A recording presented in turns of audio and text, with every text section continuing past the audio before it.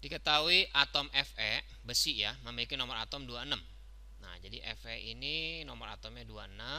Nah, sekarang kalau Fe-nya 3 plus, nah berarti gimana nih? Protonnya berarti nggak berubah, tetap dia 26. Protonnya 26. Elektronnya Nah, kalau elektronnya itu untuk atom netral jadi kalau untuk Fe doang itu nomor, uh, elektronnya sama dengan nomor atom. Tapi ini bukan atom netral tapi ion ya. Nah, bermuatan 3 plus. Nah, sekarang di sini kalau dia 3 plus berarti elektronnya berkurang 3. Ya, elektron itu cenderung dengan lambang minus. Tapi karena di sini ada 3 plus, berarti elektron itu jadinya berkurang 3. Jadi sebanyak 23 elektron. Jadi sekarang kalau dia Fe 3 plus. Untuk neutron nggak bisa dikasih tahu karena neutron itu adalah selisih antara nomor massa dengan nomor atom.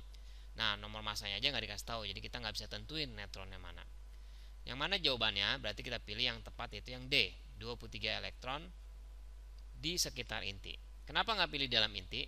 Karena di dalam inti, jadi kalau kita punya inti atom, di dalam inti atom itu baru ada proton dan neutron, ya. Nah, di luarnya itu mengelilingi namanya elektron ya, elektron-elektron mengelilingi. Jadi